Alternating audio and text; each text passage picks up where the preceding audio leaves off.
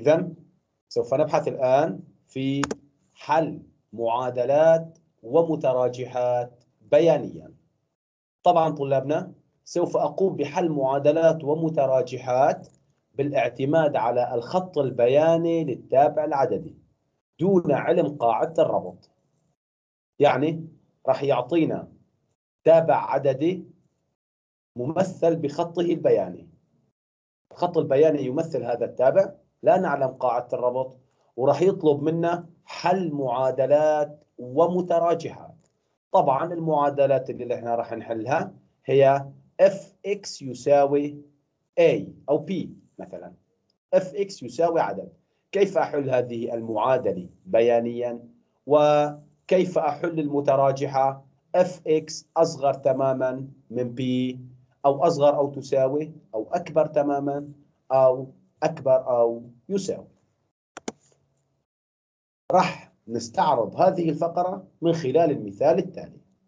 أقول في هذا المثال ليكن لدي C الخط البياني للتابع F المعرف على المجال من ناقص 4 المغلق لثلاثة المغلق. عندئذ أوجد من خلال الرسم الحل البياني للمعادلة Fx يساوي 3 2 الحل البياني للمتراجحة Fx أصغر تماما من 3 انظر إلى الخط البياني للتابع العددي. انظر هذا الخط البياني للتابع العددي. مجموعة التعريف من ناقص 4 حتى 3 لماذا أنا عم باخذ مجموعة التعريف من ناقص 4 ل 3 انظر قبل الناقص 4 ما في خط يعني ما في تعريف. بعد 3 ما في خط يعني ما في تعريف. مجموعة التعريف من ناقص 4 حتى 3 ال x هون صايرة وال f x هون صايرة. دائما f ال x هي y أو ال y هي f x. يريد مني أن أحل المعادلة f x يساوي 3 يعني y يساوي 3 ما هو الحل البياني للمعادلة y يساوي 3 فكرة الحل فكرة الحل انتبهوا لي جميعا. هو أن أرسم المستقيم الأفقي دلتا نقطتين y يساوي 3 مو f ال x دائما y؟ لنرسم المستقيم الأفقي دلتا نقطتين y يساوي 3 كما ترون جميعا. انظر هذا المستقيم الأفقي دلتا نقطتين y يساوي 3 راح يقطع الخط البياني في هذه النقطة وفي هذه النقطة وفي هذه النقطة. هذا المستقيم قطع الخط البياني طلاب في ثلاث نقاط هذه النقطة وهذه النقطة وهذه النقطة. راح سميها A B C. أو D مشان ما تشابه هاي الأسماء. بالنقطة A بنزل عمود على الإكسات. هاي الإكس اللي بدي أحصل عليها هو حل المعادله اف إكس يساوي 3 والنقطة بي بنزل عمود على الإكسات راح أحصل على ناقص 2 والنقطة دي بنزل عمود على الإكسات بكون حصلت على 2 فتكون حلول المعادله هنو الناقص 4 و2 والناقص 2 و2 يعني لإيجاد الحل البياني للمعادلة fx يساوي p أو fx يساوي 3 أرسم المستقيم الأفقي دلتا نقطتين. Y يساوي 3 فيقطع الخط في نقطة أو أكثر.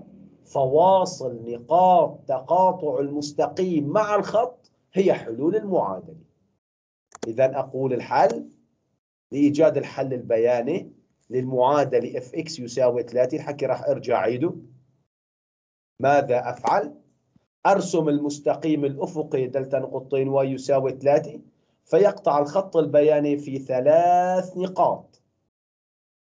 فواصلها هنو الناقص 4 والناقص 2 و2 فواصل نقاط التقاطع هي حلول المعادلة fx يساوي 3 إذا طلاب حلول المعادلة fx يساوي p هي فواصل نقاط تقاطع المستقيم دلتا نقطتين ويساوي البي مع الخط البياني للتابع.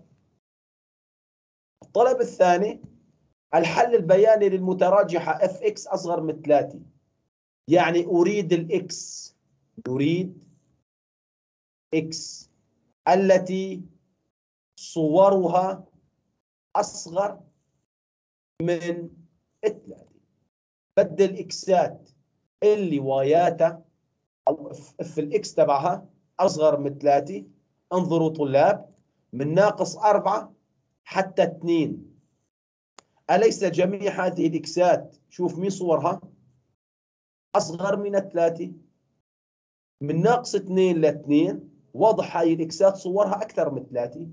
ومن اثنين لثلاثة هاي الإكسات صورها أصغر من الثلاثة. لذلك أقول الحلول البيانية للمتراجحة اف إكس أصغر تماما من 3 هي قيم المتحول إكس التي صورها أقل تماما من الثلاثة وعليه من خلال الشكل البياني أرى أن الحلول هي نقاط المجال من ناقص أربعة حتى اثنين المفتوح اجتماع من اثنين المفتوح لثلاثة طبعا طلاب نحن أخذنا المجال مفتوح لأنه الإشارة أصغر تماما. إذا الحلول البيانية للمتراجحة اف إكس أصغر تماما من 3 هي قيم المتحول إكس التي صورها أقل تماما من الثلاثة ألا وهي من ناقص 4 حتى الناقص 2 مفتوح. اجتماع من 2 المفتوح للثلاثة المفتوح. هذا طلابنا ما يتعلق بحل معادلات ومتراجعات بيانية.